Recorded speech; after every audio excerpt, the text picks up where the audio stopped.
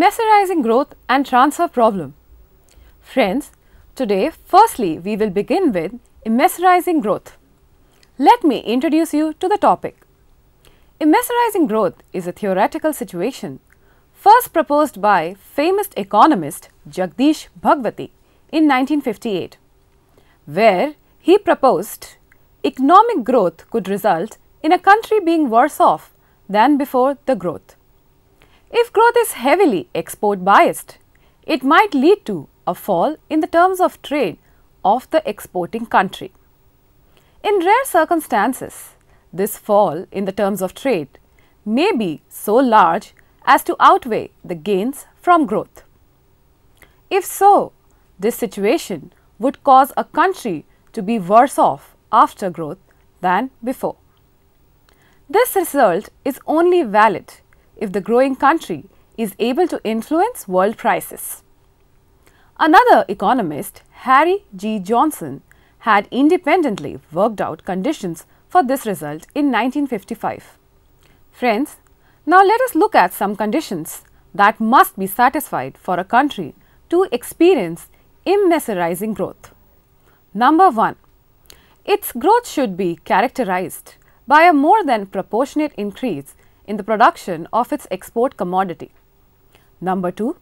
The supply of its export commodity should be price inelastic so that it is willing to export more even at reduced price. Number 3. The share of its export commodity in the total supply in international markets should be large enough to depress its international price. This condition applies irrespective of whether the country in question is large or small or whether it is rich or poor. It is seen that developing countries are more prone to suffering from deterioration in terms of trade with an expansion in their exports. This is because a major portion of their exports comprise mainly minerals and other primary products which tend to have inelastic demand in the developed countries. In addition, the developed countries have been able to create synthetic substitutes for a number of these products. Friends, now let us look at another issue popularly known as the transfer problem. Let me introduce you to the transfer problem.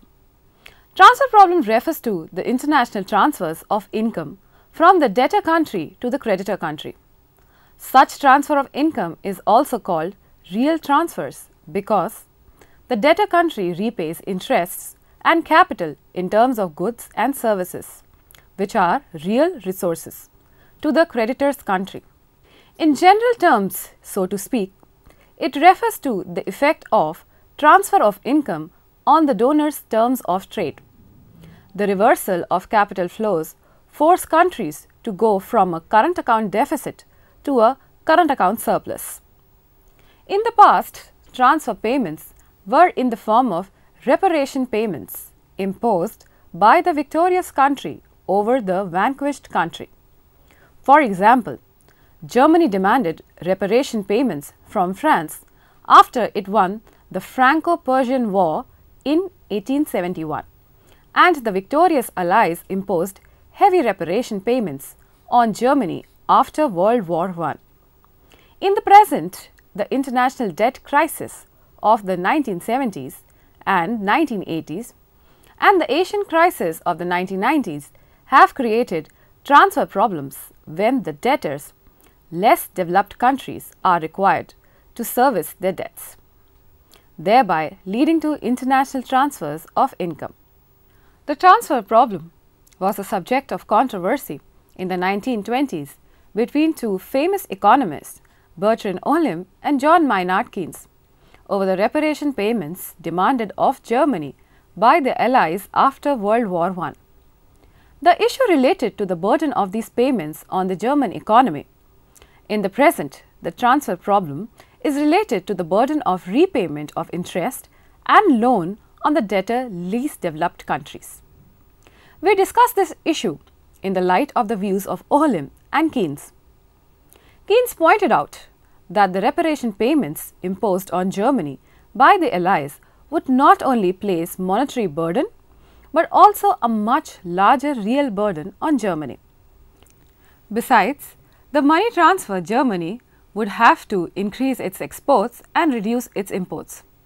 For this, it would have to produce more exportable and reduce their price relative to imports. This would worsen the terms of trade of Germany and increase the direct burden of its reparation payments.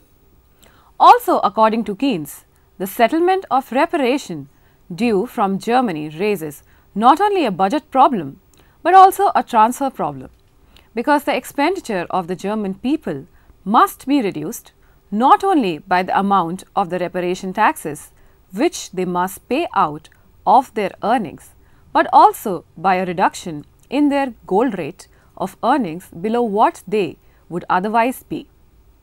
On the other hand, Ohlin argued that when Germany would increase payments, people would reduce the demand for imported goods. When money would be transferred to the allied countries, their purchasing power would increase and a portion of it would be spent on German goods. Thus, there would be reduction in imports and increase in exports of Germany without worsening its terms of trade. Now friends, let us look at other views in the transfer problem. We will discuss in detail the present transfer problem of less developed countries in the light of the above views. First, let us consider the view of Ohlin, the Ohlin view. Taking Ohlin's view first, when the debtor country levies taxes on the people to repay the interest and loan, their incomes are reduced. Their demand will partly decline for domestic goods and partly for imported goods. The diminution in demand for domestic goods will increase the quantity of these goods available for export. Thus, with reduction in imports and increase in exports, the terms of trade of the less developed countries will not worsen. This is the direct effect of the transfer problem. Besides, Ohlin also explains an indirect effect of money transfer. When the debtor country repays its debt with the reduction in purchasing power, the demand for domestic goods and imports falls. This shifts a part of the factors of production from domestic goods industries to export industries. Consequently, exports increase and imports fall. Further, the prices of domestic goods fall due to decline in demand for them. So far as the prices of exports are concerned, the extent to which they are low depends upon the relative prices of exports of the debtor and creditor countries and the direction of change in demand for them. It is therefore not possible to determine whether the terms of trade will be against or in favor of the debtor country.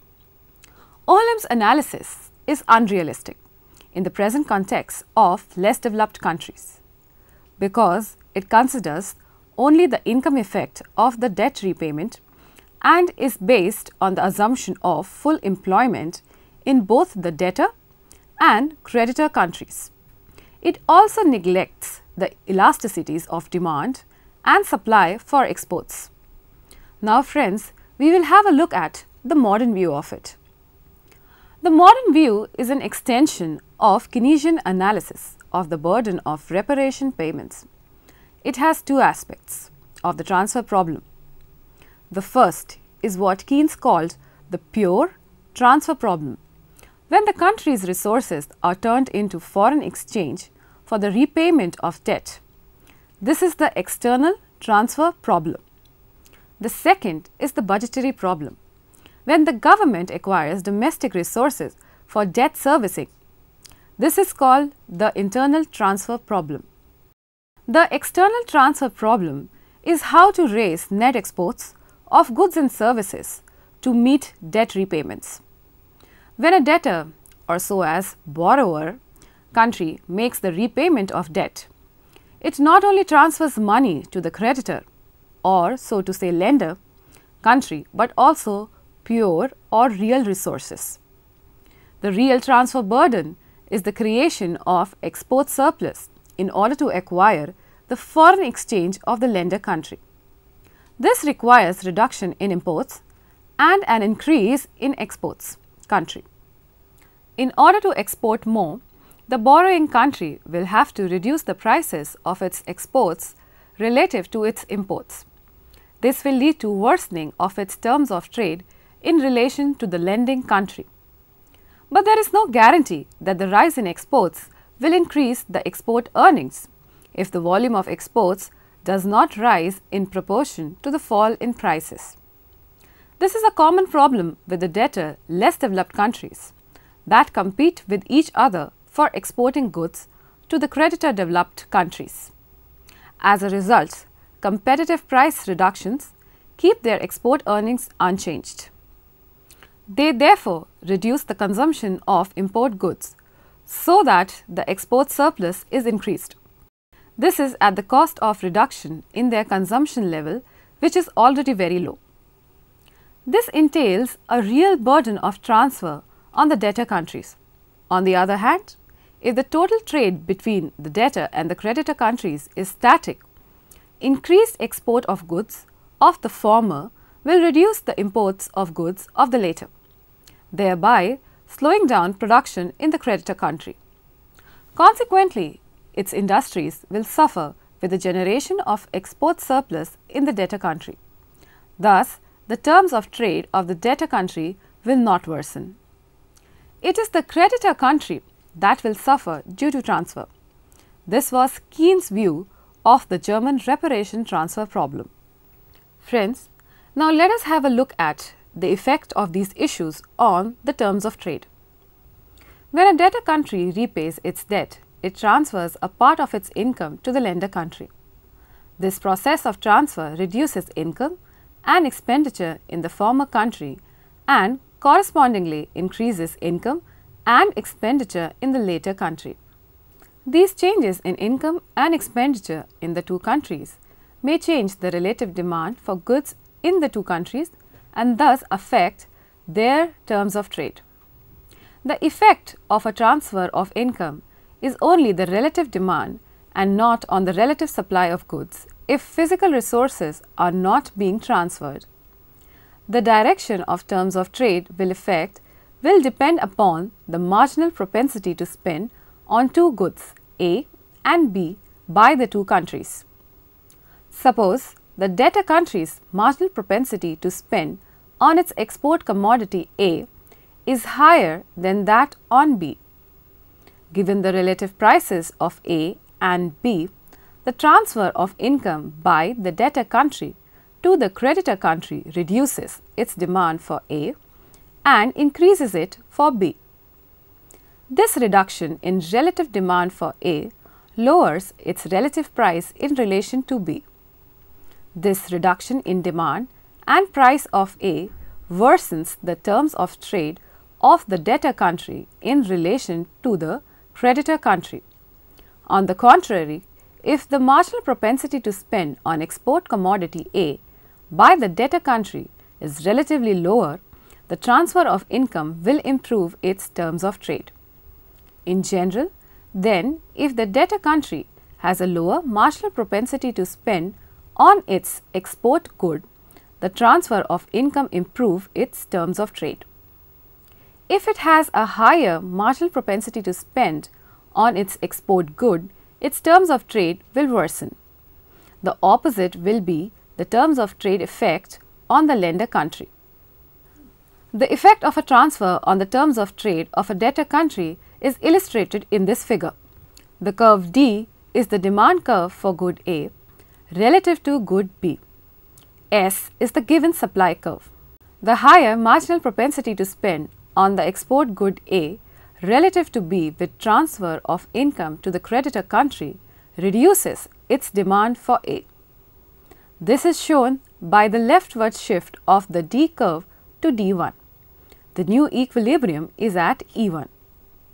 The relative quantity of A has fallen from OQ to OQ1 and its relative price from OP to OP1.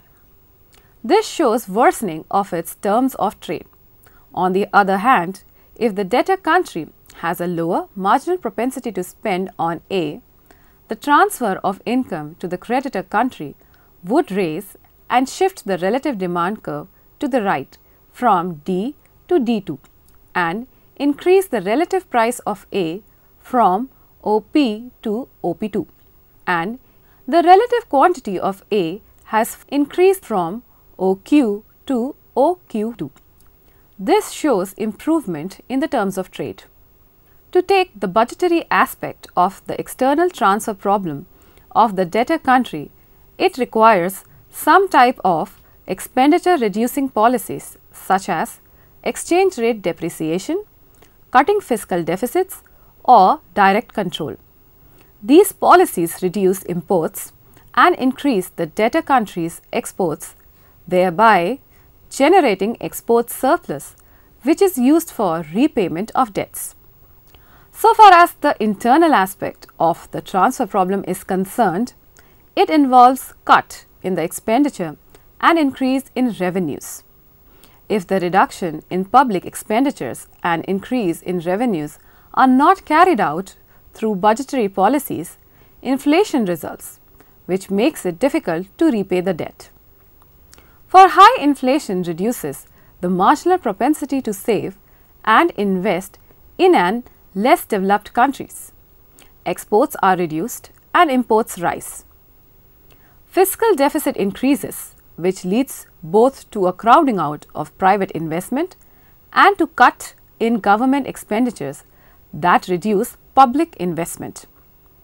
Under the circumstances, an less developed countries can solve its transfer problem of debt repayment by controlling inflation, increasing exports and reducing imports through various external and internal policy measures. Friends, now let us summarize today's session. We will begin by summarizing immiserizing growth. The concept of immiserizing growth introduced by famous professor Jagdish Bhagwati refers to that situation where an increase in a country's export commodity leads to such deterioration in its terms of trade that there is a net decline in its export earnings and social welfare. By transferring resources from one country to another, the goal is generally to make the receiving country better off. It follows from the theorem that quirks in the market mechanism render that goal impossible to achieve the equilibrium. Now friends, let me summarize the transfer problem issue. In the past, transfer payments were in the form of restitution payments imposed by the winning or conquering country over the repressed country. Nowadays, the transfer problem controversy is very much alive in the context of the ongoing debate on current account rebalancing at both regional and global levels. While there is a considerably uncertainty about the timing and drivers of current account movements, the basic mechanism of adjustment requires a transfer of real resources from debtor countries to surplus countries. Such transfer involves a decrease in domestic spending relative to production in the debtor countries, accompanied by a simultaneous relative increase abroad. From the perspective of comparative statics, it is noteworthy that the transfer problem can be observed only for sufficiently large volumes of trade. Thank you friends.